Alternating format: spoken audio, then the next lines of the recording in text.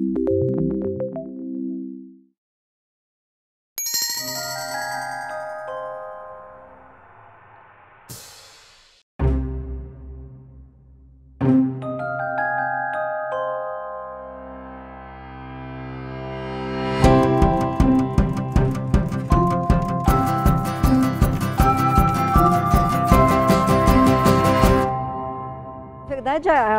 a, grande questão da saúde geral afetando a saúde bucal, claro, diabetes, a gente sabe que tem uh, efeitos diretos sobre as condições periodontais, por exemplo. Mas assim, a principal problema da condição sistêmica na condição bucal é o tratamento da condição sistêmica, é o uso de medicamento. A maioria dos medicamentos que são usados para tratar as doenças crônicas, que são extremamente frequentes na velhice, tem uma repercussão drástica, crucial na saúde bucal, na manutenção da saúde bucal das pessoas idosas. Então, assim, o que às vezes é difícil de manter, é complexo de manter, higiene, etc., essa idade, fica ainda mais difícil porque eu tenho uma diminuição drástica de saliva, por exemplo, e a, e a diminuição de saliva na cavidade bucal ela é crucial para a manutenção da saúde dentária e também da saúde da mucosa. Né? Bom, outras coisas de, de condição sistêmica afetando eh, dizem respeito à acuidade visual, à motricidade, né? que também vão afetar a que também vão afetar de maneira bastante significativa a manutenção diária da condição bucal dessa, dessas pessoas. Né? Então, tem que acender no, no seu dentista uh, ou no dentista que atende, uh, que trata pacientes idosos, sempre que ele vem com uma listinha de medicamentos, tem que acender uma luzinha vermelha. Né? Essa essa ideia de manutenção para esses tipos, para esse tipo de paciente tem que ser dobrada ou triplicada, assim, no, no, no em termos de, de atenção mesmo. Né? Há uma diferença entre a sensação de boca seca né, e a, a boca seca efetivamente, né, a diminuição mesmo do fluxo salivar. As pessoas expostas a, a, a, a essas, aos medicamentos, especialmente aqueles que para controle de doenças cardiovasculares, é, essas pessoas têm mesmo uma diminuição do fluxo salivar. Né?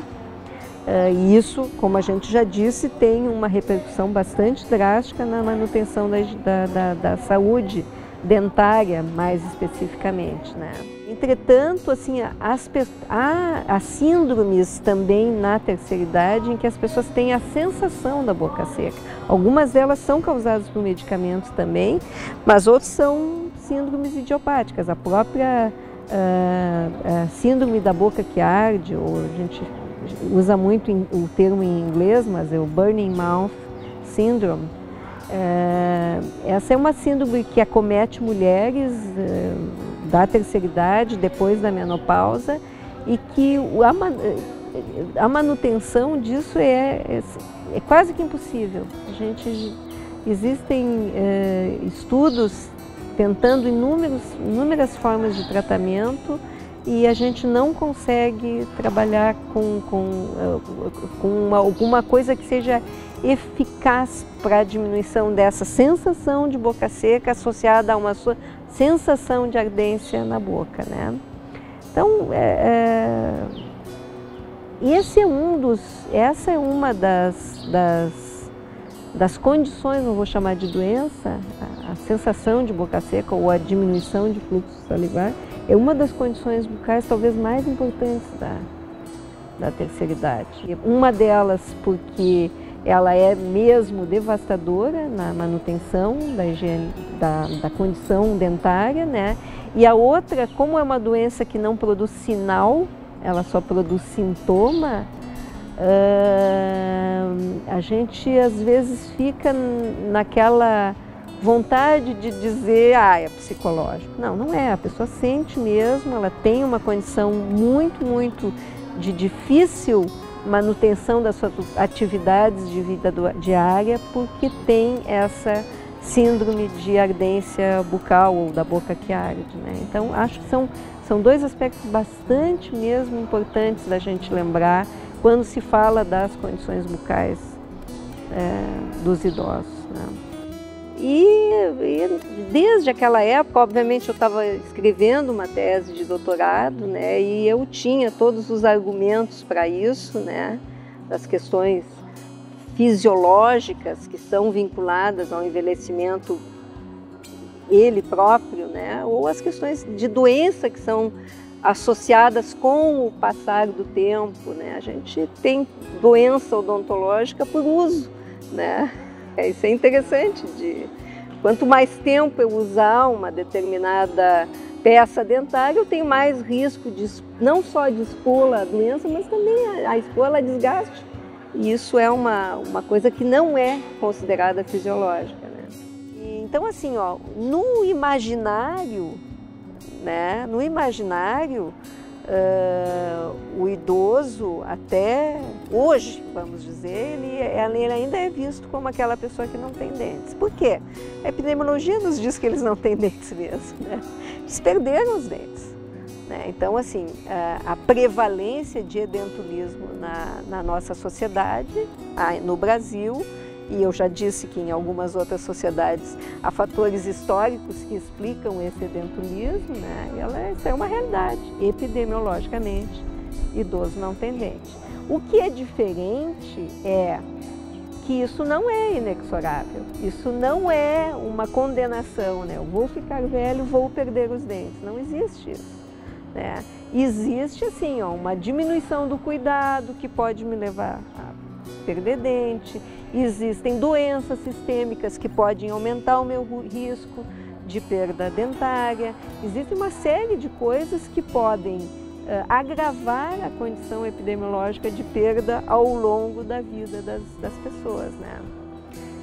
Por que, que isto ainda é assim? Porque nós ainda temos idosos sobreviventes dessa camada que perdeu seus dentes desde a juventude. Eu acho que a primeira coisa que a gente tem que pensar é, é primeiro é a decorrência da doença, né? Talvez a primeira, a primeira perspectiva assim é, é entender a perda dentária, né? Que é um dos principais problemas, né? O, os nossos trabalhos têm mostrado que a perda dentária ela é significativa na questão nutricional, na questão de, de obesidade, na questão de mortalidade mesmo. Né? Nós mostramos que uma pessoa com quanto menos dente, menor a perspectiva de longevidade dessas pessoas. Nós tivemos chance de mostrar isso uh, epidemiologicamente falando. Né? Uh, então, acho que essa é uma, é uma uh, primeiro falar da, da consequência da doença, né? Depois para nós, para nós, nós os dentistas do dia a dia, né? A, a, gente tinha uma perspectiva de que idoso não perdia é, dentes por cárie, perdia por doença periodontal, quando na verdade não.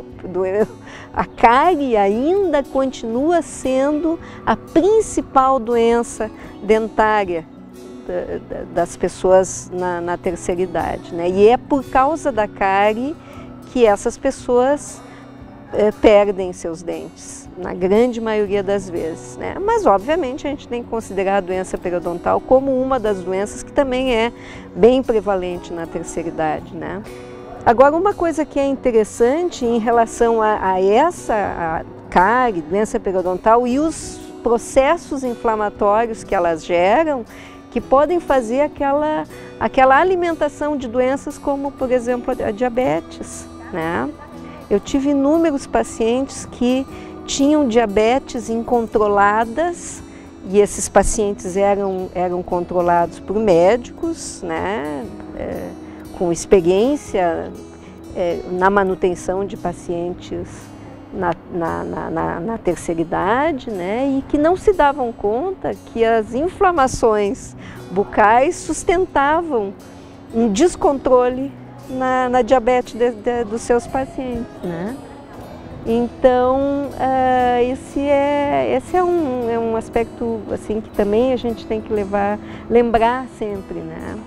Não só a doença propriamente dita, mas a consequência dela também repercutindo em doença sistêmica ou na própria manutenção nutricional, etc. Eu não posso deixar de lembrar que a incidência de câncer é, de boca ela é mais, mais frequente na, na, na, na, na terceira idade. Né? E a gente tem ainda, especialmente nas populações com um nível social menos favorecido, o uso do tabaco de cigarro, especialmente o cigarro, que é um reconhecido fator de risco para a doença, para doença, o câncer de boca, né? Essas, essa, eh, essa, eh, esse risco ele é absoluto, né? Ele existe mesmo e a gente, a gente tem que lembrar sempre dessa possibilidade. Então, muitas vezes, desde os primórdios, lá quando a gente começou a trabalhar, que as pessoas diziam, não, mas eu não tenho dente, não preciso de dentista, né? Não, tu precisa de, de dentista para fazer a manutenção da tua prótese total e para, no mínimo, examinar de vez em quando né, a, a tua mucosa bucal, especialmente se esses pacientes estão expostos a aos fatores de risco que a gente conhece. Né? Então, acho que, que, que é importante que a gente não esqueça né, e, e não deixe a população esquecer de que é, não só quem dente precisa de dentista, né? As, todas as pessoas, mesmo as que já perderam o dente, os dentes ainda precisam do cuidado e da atenção odontológica, mesmo na terceira idade. Bom, com relação à saúde bucal dos idosos e as características que eles têm comparado com os, as pessoas que não são idosas, uma característica bastante prevalente seria a xerostomia induzida por medicação, que a gente vê muito isso no ambiente clínico, que eles têm dificuldade de retenção de prótese, faz com que eles tenham também bastante prevalência de infecções oportunistas, como candidíase. Outras patologias que a gente percebe bastante seria a hiperplasia inflamatória devido a apoio de próteses, câmara de sucção. Elite angular. Por, por perda, de, de dimensão. dimensão vertical, isso é bem, tudo bem comum. E na verdade, tudo isso que a gente vê hoje também tende a mudar com, com o tipo de odontologia que a gente vê hoje, porque se tu previne, provavelmente tu vai ter mais dentes em boca, provavelmente tu vai ter menos uso de prótese, tu vai criar um ambiente menos propício para desenvolvimento dessas desse tipo de patologia que são oportunistas por causa do ambiente úmido, tu fica ali com prótese. É, e a gente nota também que nos idosos que têm alguns dentes em boca, eles têm uma grande prevalência de cárie radicular, tem também bastante presença de periodontite moderada ou avançada. E às vezes, devido a uma abordagem errada nos dentes que estão lá em boca ainda, coloca uma prótese que às vezes acaba funcionando um dente ou acaba impactando em algum outro dente que vai prejudicar aquele outro dente que ele tinha, que ele vai vir a perder. Ou não, não. O próprio idoso chega e fala, não, eu quero tirar tudo, por uma visão é, que mas tinha antes. eu noto que está diferente. Tem idosos que chegam para nós na clínica e querem extrair todos os dentes que sobram para colocar uma prótese total, para ficar com os dentes bonitos, mas também tem aqueles idosos que tem que tirar algum dente eles não querem tirar os dentes. Se recusam. Porque eles já acham que eles têm poucos dentes e se a gente tirar os que eles têm, vai ser pior. É bom que já esteja mudando essa visão, que eles queiram manter os dentes. Sinal que a odontologia preventiva está, de alguma maneira, funcionando. Ainda que nós tenhamos que tirar muitas vezes, por, por ser o é. tratamento é. mais adequado, eles não querem às vezes tirar. Sem contar que o que tem bem comum, às vezes, o paciente chega pra gente na clínica, um paciente idoso que, mulheres principalmente, perderam os dentes nos 15 anos porque ganharam uma prótese total de presente.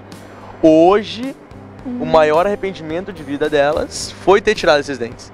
Mas às vezes um idoso que tinha os dentes foi tirando aos poucos e chega pra gente e pede, uma prótese total, ele não tem ideia do que, que ele está fazendo.